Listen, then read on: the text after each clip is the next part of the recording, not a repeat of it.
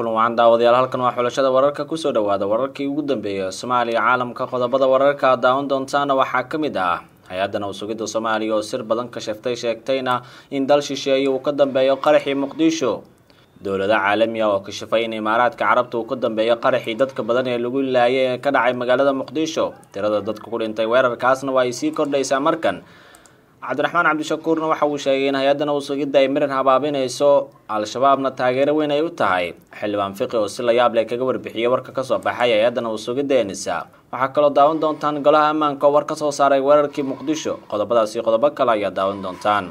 haddii aad xulashada wararka cusub tahay fadlan sabscribe saar ku dhafo gambeelka si aad u noqoto daawadaha koowaad markaynu halkan wararkeena ku baahino. Aynu ku bilaabnay hay'addan usugadii sirdoonka qaranka nisa ayaa waxay shaacisay in waddan shisheeye uu lahaa qorsheynta weerarkii sabtida labaatan iyo sideedii disembar labada kun sagaal iyo tobankii ka dhacay ex control afgooye ee muqdisho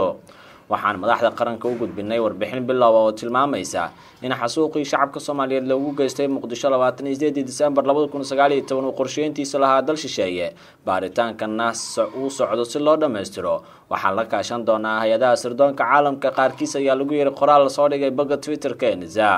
nisa mise ma aysan sheegin magaca dalka ay ku eedeysay weerarka balse wuxuu hadalkeeda yimid kadib markii wargees ka soo baxa dalka turkiga u daawacay. Warbixin uu ku sheegay in dowladda imaaraadka ay ka dambeysay qaraxii ex control kaasoo lagu dilay siddeetan iyo shan qof oo laba turki ay yihiin. Wargeeska yanisafig ayaa waxa uu sheegay in xog uu helay ay sheegayso in dhaxal sugaha dalka imaaraadka maxamed bin sayid al nahyeen uu lahaa amarka qaraxii sabtidii muqdisho ka dhacay ee in ka badan boqol ruux ay ku nafaysay waxaana wargeys uu sheegay in bartilmaameedka weerarkaas uu ahaa shaqaalo turki oo waddo laami dhisayey wargeeska ayaa waxa uu sheegay in qaraxaas lagu soo beegay isla maalinkii dowladda turkiga ay isu diyaarinaysay taageero ciidan oo la siiyo dowladaha caalamka aqoonsan yahay ee libiya wargeeska ayaa waxa uu sheegayaa in caddeemuhu hayo ay ka mid yihiin baaritaano la sameeyey iyo xiriiro kalab lagu ogaaday in qabanqaabada qaraxaas ay dowladda imaaraadka lahayd si gaar ah dhaxal sugaha ujeedka qaraxaas waxaa lagu sheegay in la qalqalgeliyo howlaha taageero ay dowladda turkiga ka wado dalal ay ka mid yihiin soomaaliya iyo libiya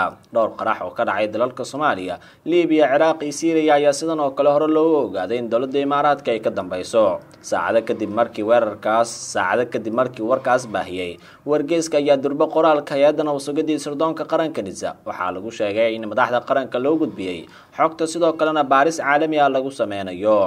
قرحة وحوسبتدي وكان عايز جوز كمشغول كبدانه اسكوح رم مقدشو يقار كمدا قبل هذا كونفورت الصومالية ومتكي لبعد إذا مشهد أقوب بدن صوبي دعى سدحدي سنة على صورة في جدهود مجرد كحشة قتى مسؤولية ده لكن مدحينا فرماجو حوكو إذا يالشباب سجوك تاور روح يكفوليان عاصمة ده waxay ahayd dhacdo kale oo argagax leh oo soo marta dadka reer muqdisho kuwaasoo dhibano u noqday qaraxyada aan dhammaadka lahayn ee ku soo noqnoqday magaalada tobankii sane ee u dambeysay. Waxay galaafteen nolosha dad aada u badan kuwo kalena waxaa soo gaaray dhaawacyo halis ah oo saameeyey noloshooda oo dhan.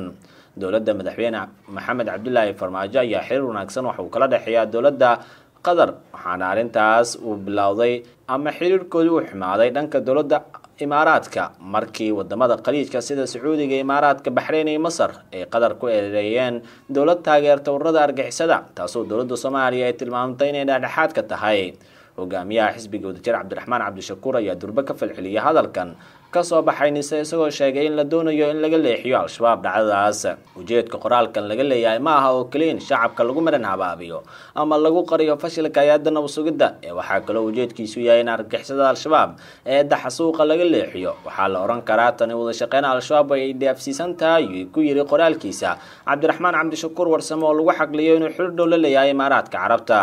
durbe xildhibaanada mucaaradka ayaa ina arrintan falcelin cajiiba ka bixiyey. Dowladaha qatar iyo turkiga ayaa ahaa labadii dowladood ee ugu horreeyay u soo gurmada soomaaliya dhaawacyadana ka qaada weerarkaas kadib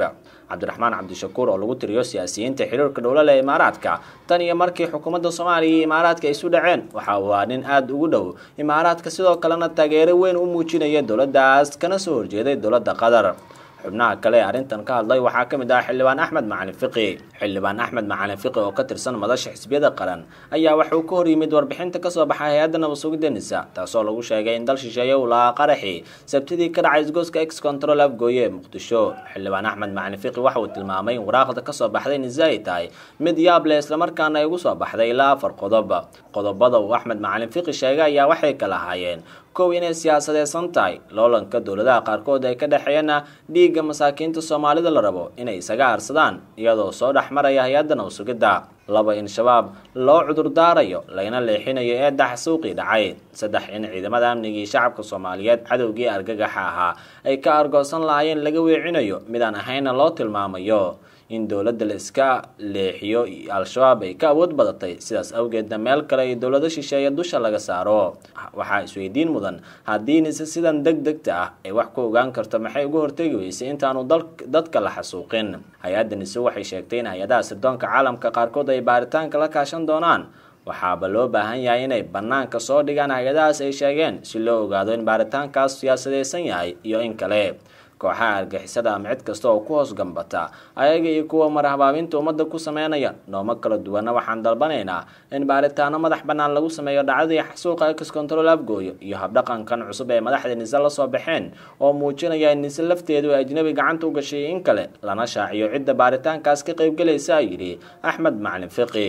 hay-adda nabadsuguddii sirdoonka qaranka nise waxaa taliyo ka ah faad yaasiin xaaji daahir oo loo xagliyo inuu xiriir aada weyn la leeyahay dowladda qatar waxaa la tilmaamayaa in dad badan in ay sheegeen in dowladda qatar arrintan ay wax badani ka og tahay oo nise iyadu ay soo fartay balse siyaasiyiinta mucaaradka ayaa durbo leexiyey kana leexiyey imaaraadka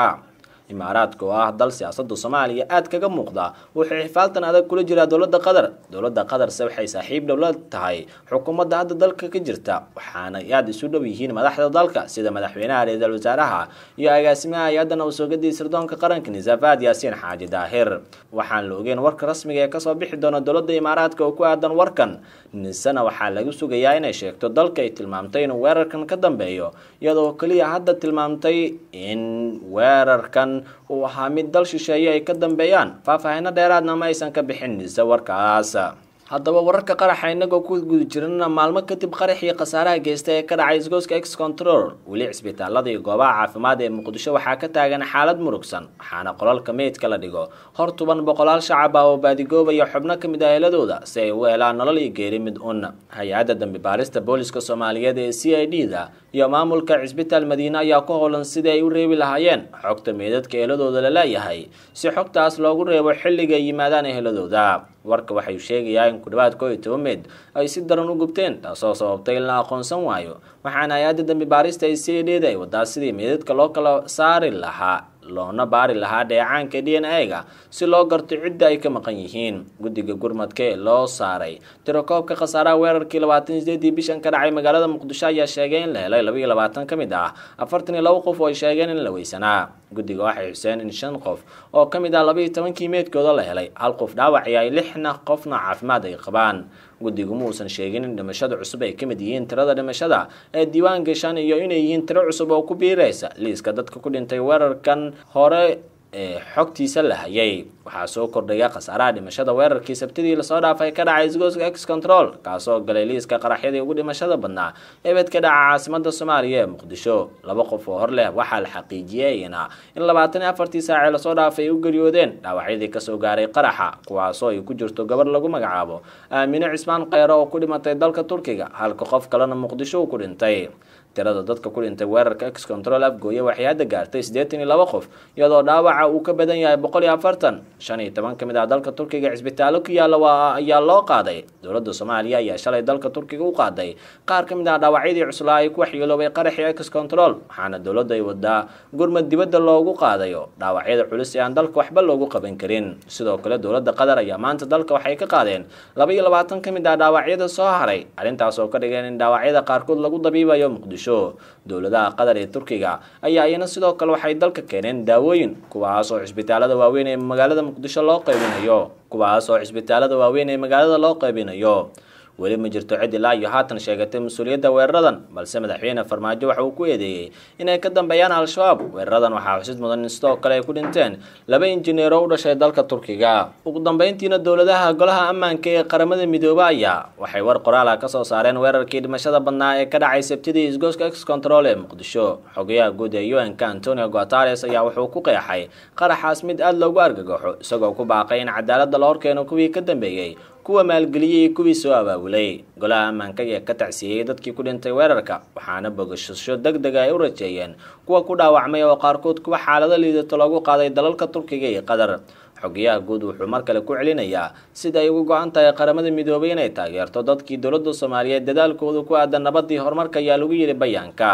Golaha ammaanka ayaa ugu baaqay dowladda soomaaliya iyo maamul goboleedyada inay si wada jira ula dagaalamaan kooxaha argixisada ee doonaya in dalka ka hor istaagaan horumarada uu sameynayo guud ahaana daawadayaal waa naga intaa warkii aad kala socoteen xulashada wararka oad ku mahadsantihiin si wararkeen aad ula socotaan nabadgelyo